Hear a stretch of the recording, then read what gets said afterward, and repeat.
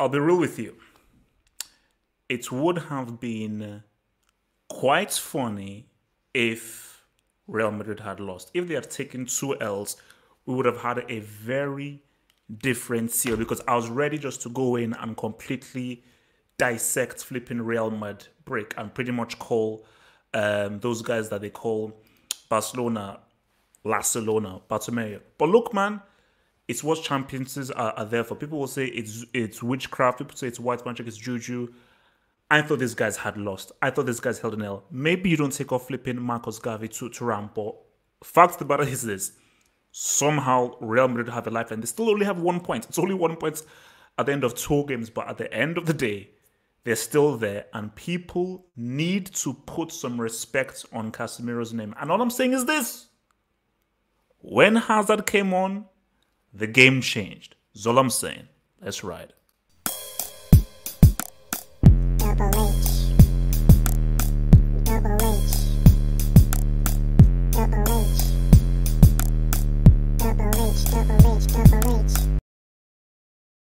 Let's be clear here here so that we're not confused. Real Madrid are not winning the Champions League.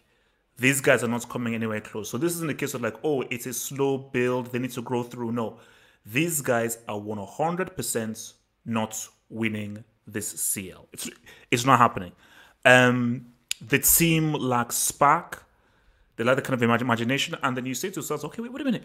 How come they looked so good? They beat Barcelona 3 1 and they look like this? Because it's very simple. Mönchengladbach know how to defend. Mönchengladbach don't have um, um, don't have dumb and dumber in central defense, i.e., Piqué and Lenglet. They actually are well managed, they're actually well coached, and they're actually a team. Barcelona are not a team. We'll get into that with the whole Bartomeu news. They're not a team. So Real Madrid are like, oh, we have so much space against Barcelona, bigger pitch, flipping geriatric Busquets as, as flipping DM, that flipping loser, and pace. Basically, you have like people who are completely totally washed.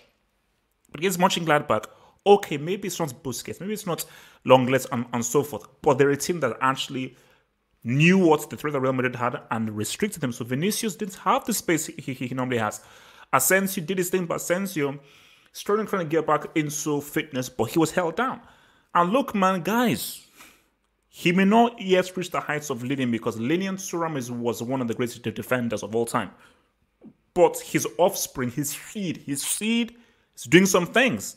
I think this is like his second or his first Champions League start.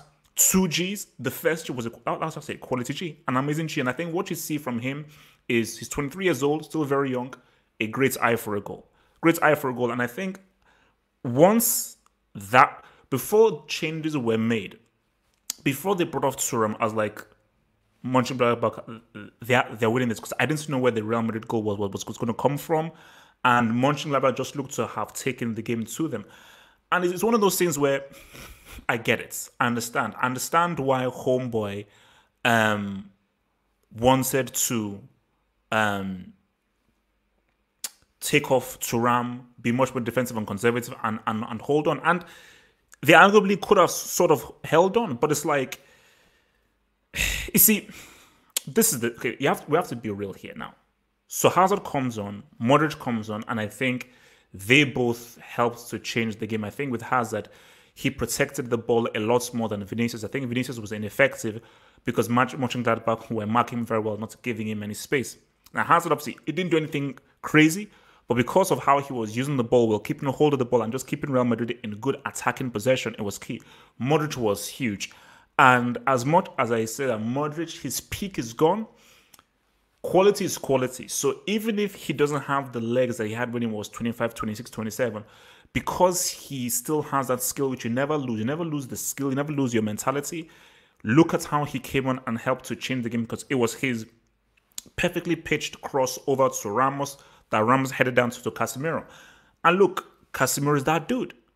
He has not really, I think this has probably been one of Casemiro's worst seasons. And you can see that he is declining, just like most of this team, which they they, they, they, they do need to be sort of re- revamped. But that's what great teams do. That's what team players that have great character do. They're like, okay, I get it. I'm not the dude I used to be, but but we, forget that. We need to come clutch now. We need to say what's up now. We need to live now. We need to write now. That's what he did. He said, What's up? Homeboy said, What's up? Because that header down to Benzema was huge. Great finish by Benzema. That was a great finish by Benzema, but it was Casemiro getting there last ditch, ensuring that he headed the ball down before the whole ball went over. That was huge. And again, he was there, right place, right time for Ramos to, to, to head down, and, and, and boom, he put it in there. But let's be real. So, Mönchengladbach have two points, I believe. I think they drew. Yeah, they, they so Mönchengladbach have two points. I'll get to Milan because well, because I'm going to send out a link for everybody to join in. So I'm, I'll, I'll, I'll, I'll send out a link because we, we need some things to, to discuss. But I want to just get this out there. So Inter are on two points, Mönchengladbach on two points, Shakhtar on four points, I believe, and Real Madrid they're on one point, and they now have a double header against Inter Milan. So this was just a lifeline because if Real Madrid ended up with zero points, which we were very close to, it would be like, bro, especially going into the Inter game, they're useless. But I, you see, I said this before, like things have so changed, especially for the Spanish teams, because for most of this past decade, it's been Real Barcelona, Real Barcelona, Real Barcelona. And my thing here is this 100%. Of course, Cristiano is a big miss, but it's Cristiano and the whole team. It's a team thing, it's a team problem, it's a team issue because I had this piece of crap loser on Twitter, which because I Twitter has a lot of these flipping sad morons who have no life. So this low life, no life moron was like, hey, HH, you see, without Cristiano, what can they do? I was like, you piece of crap, get a life, go outside, meet someone, and don't dedicate your life to somebody who doesn't give a crap about you. Like you, Cristiano fanboys, I am begging you, get a life. You're sad. You live sad lives obsessing over a dude who does not give a damn about you. Please get a freaking life. So, yes, of course, like this Real team, Rodrygo is trash. Let's just let's just keep it real. Rodrygo is trash. He's garbage. Vázquez is from the road. And Real Madrid, I didn't tell you to sell Hakimi. You went to go, you went to sell Hakimi. Why, why, why did you sell Hakimi? Who told you to sell Reguilon? Who told you about that? Because Reguilon is a left back, but I'm sure he can also debut for a right back as well. And look at how good Reguilon is doing for Tottenham. Um, but see, the big thing is the Hazard thing. That was a major thing because Hazard was supposed to be that a big prime guy to come and give Real their creativity because they're missing that creativity. Because it's about matchups. Against Barcelona, they'll give you space. So you give this Real Madrid team space, they'll be able to execute specifically with guys like Vinicius and using his his his speed and the intelligence of Benzema. But if you don't have guys that will give you space, Vinicius is ineffective. Vinicius is a talented dude. He's talented. But the guy needs a football brain, and the guy does not have a football brain. He works purely off instinct. He does not think a lot about what he's trying to do, as opposed to like an Ansu Fati who gives a lot more thought to what he wants to, to do. Vinicius simply doesn't. So that's so this kind of game you needed a Hazard. You needed a thinker and a guy to try to unlock and create. Vinicius is just like, give me the ball, go attack. You need someone to say, okay, let's just calm down, go through, keep the ball, try and find some little nice pockets and find some intelligence combinations to try and break a far better drilled, far more organized um, Mönchengladbach team. So, but I'll be real with you. I don't know how these dudes I'll be guys, I'll be real with you. Because when we did our preview, when we did our preview, I said, don't ignore Mönchengladbach. People say, oh, I said, because no, no, remember, I said Shakhtar, Shakhtar Donetsk, mm, away from home is always tricky. Now, I didn't know they would beat them real at the Santiago Bernabeu. I said, Mönchengladbach, don't sleep on them. because these guys can cause Real and Inter issues. And I told you, we'll get to Inter Milan. We will, we're going to discuss Inter Milan because those guys are the biggest choke jobs in Europe. And I think Conte, you know what? Conte, you're a choke job. Because if Inter don't make it through this group and they end up in the Europa League again, these guys are complete losers. And for Real Madrid, let's keep it real. Maybe you can do what soft in La, in La Liga. I don't know how they make it out of this group because see, if they had lost this game, oh my god. But you see, going into those two Inter games, see, like those two Inter games, oh my god.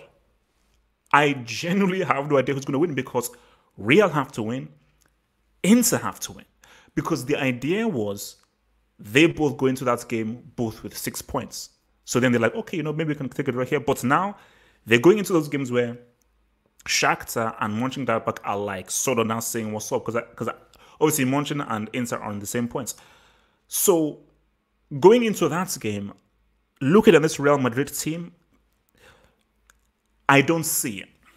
I don't see it. So the only thing that can help them, the only thing that can help this Real Madrid team is if somehow, some way, Zad comes through. They need Zad. Without Zad, this team doesn't have that X factor to go through because unless you're an extremely well drilled team or you need that, that X factor, Bayern Munich, they're just an extremely well drilled team and they're a flipping machine. Hence why they did what they did. So either you're, you're like a machine, like a Bayern Munich, or you have to have an, an X factor. Benzema is good. He's a quality player. He's not an X factor. He's not like, you know what, big time, big game. I'm gonna win this game for you. I'm gonna I'm here to be a game changer for you. So and I just don't know whether we'll see that. See, it was good seeing I saw glimpses. I saw glimpses of Hazard because look, this is his first game in what six, seven months, and you just saw glimpses of what he can do. Real Madrid, they need creativity. I don't know what's going on with Isco because I've always said that try a 4 2 3 1 try a 4-3-1, put Isco in at the no, no, no, number 10. You don't need to slav, um, slavishly go with a 4-3-3 because obviously if this 4-3-3 is not giving you creativity, change to a 4-2-3-1, put Isco in the number 10 because Isco is an ex, has an extremely high footballing IQ. And Isco has no place in a 4-3-3. But Zidane is stubborn. He'll stick to his 4-3-3 and a 4-3-3, Isco simply has no no no space. So there's no point in Isco even being in the club as long as Zidane is there because he cannot fit into a 4-3-3. But this team needs creativity. They need it because you see, it's all about matchups. Against against teams like a Barcelona or a Sevilla or a Liverpool, Real Madrid can say what's up. Even against Man City, Real can say what's up, and they should have done lots better than they did against City last season. But against teams that are much more defensive, much more tactical, which is why I don't, I'm not sure Real Madrid can beat Inter Milan. Because I see those games could probably be draws because I don't know how Real Madrid, this Real Madrid team, can beat a defensive team. Because thing which Inter Milan is like, they're not in strategy in, in it. Wait, have they scored a goal? Okay, I think they've like scored like one goal in two games or something. So that's my thing. And look, Real, they're still alive, and I think for Mönchengladbach very un- unlucky. I get what the coach wanted to do, but if Marcus Thuram had stayed on the pitch, they win the game. For sure, because Marcus Thuram would have scored another goal because they had two, three amazing counters, superb counters, and then and just messed it up. So if you had given those counters and Marcus Thuram was on those counters, you probably have Mönchengladbach winning the game. But the thing about it is that as disappointed as Mönchengladbach are, because this would have been a huge win for them, they will know that, hey man, we can beat we can beat these guys at the Bernabeu. So long as we have Marcus Thuram, we can beat these guys, um, and they will feel confidence going up against Inter Milan again and Shakhtar Donetsk. So this basically this group has just become extremely open and very exciting, which means that anything anything can can go down in sleeping group man.